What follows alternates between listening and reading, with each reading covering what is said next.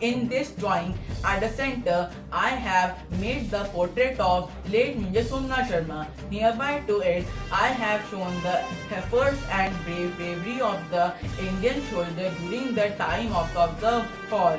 At the bottom, I have shown that the soldier is spending time with his family because the soldier get very less time to spend with their family.